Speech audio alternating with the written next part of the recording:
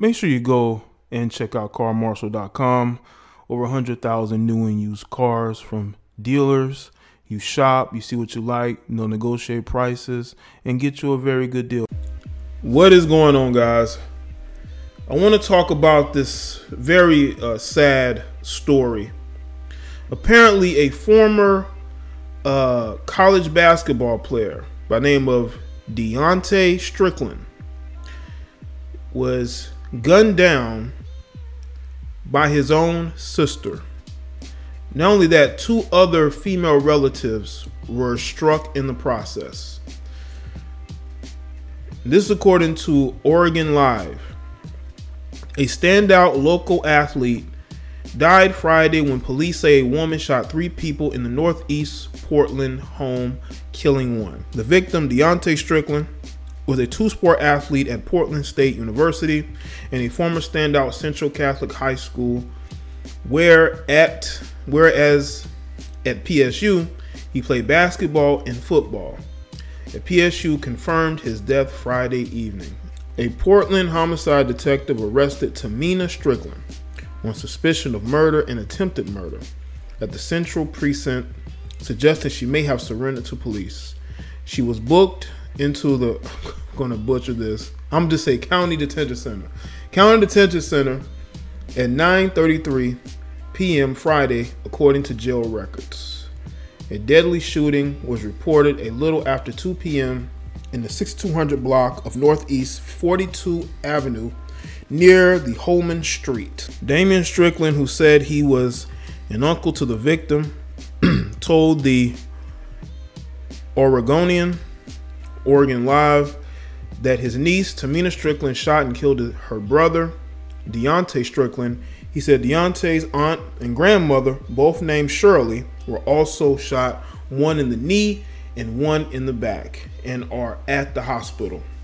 Both women's injuries are believed to be non threatening, police say. she shot. She shot her aunt and her grandmother out of sheer rage, or that she knew that they would tell what she had done. now, I don't know the specifics of this situation, but I'm going to assume that it was an argument. I'm going to assume that this female felt some type of way about her brother. And maybe her being older, she may think that that she could have some sort of say so in a certain type of conversation and it may have turned heated and she went and got the gun and decided to handle it that way. Not only did you shoot your brother, you decided to take to try to take the life of your aunt and your grandmother. Now you can look into this girl's eyes and you can tell she has no soul. None. No remorse. Just emptiness. This young man was able to get out of his situation. He was able to get into an environment where he could learn, where he can play sports. And then he had to go back home. For whatever reason, they were around each other and things got heated. But why does things get so heated that you feel the need to take out a weapon? Is because you know you can't beat them physically? So you go and you go and get a weapon to what teach him a lesson to take his life? You see, blood didn't mean anything to this female. She wanted to win that argument or whatever it is that were going on, so much so that she wouldn't took her own brother's life. Let me tell you something. Whenever a sibling takes the life of her of another sibling, she never cared about that sibling. She always harbored. I'm not saying her specifically, but I'm saying that any sibling who takes the life of another another sibling is somebody who has always harbored hatred and resentment towards them because they were able to do what that other person didn't.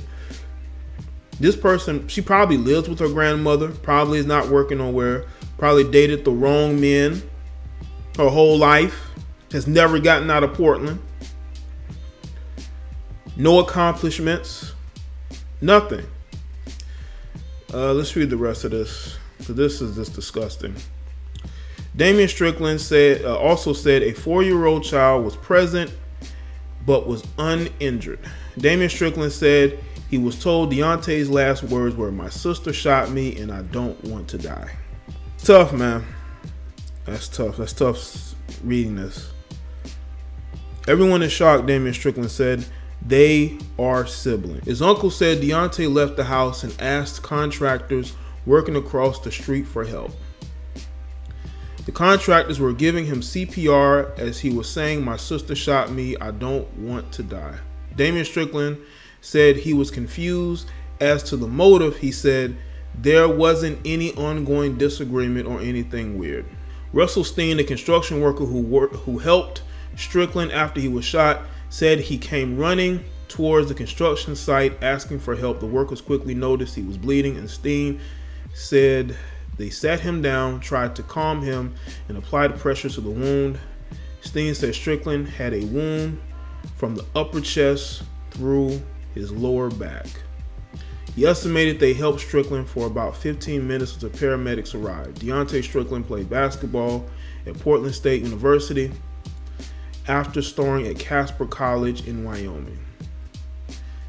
Strickland earned all state honors at Central Catholic High School, where he played basketball and football. He was a member of Central Catholic State Championship football teams his junior and senior year, and was a key reserve on Portland State's basketball uh, team the past two seasons, averaging 7.4 points in 65 games. He was planning to play running back for Portland State's football team this fall.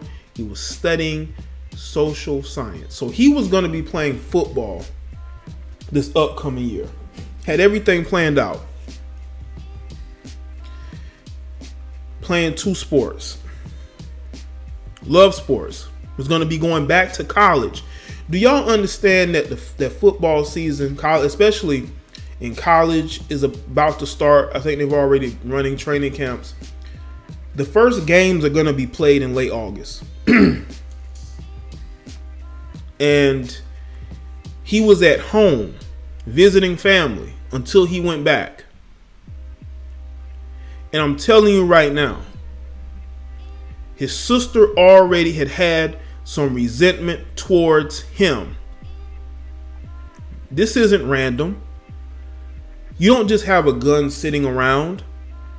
This was resentment. This was hatred.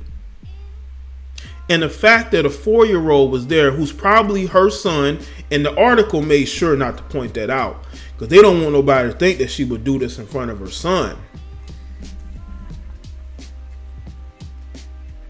We've seen instances like this where these these women have mental illness. There's a mental illness running rampant, especially in these black communities.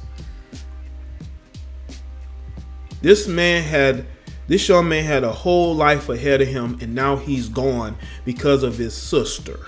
His older sister who's about 8 years older than him. whenever somebody needs to get a weapon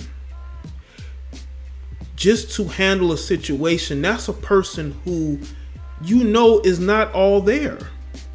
Or maybe they are. But I sense that there's a lot of mental illness with this female. You can look in her eyes and tell there's no soul there. There's nothing there. Absolutely nothing. None of you should feel sorry for this particular female. She put herself in this situation. The only people I feel sorry for is the family. This young man, first and foremost, this young man.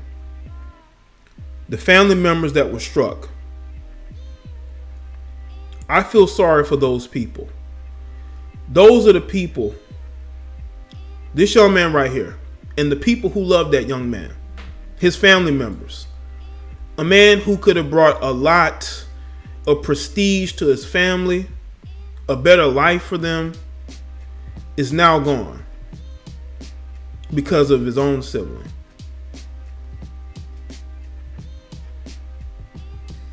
There's a mental illness going on out here, people. There's no way you can make this up. There's no way on earth you can make this up.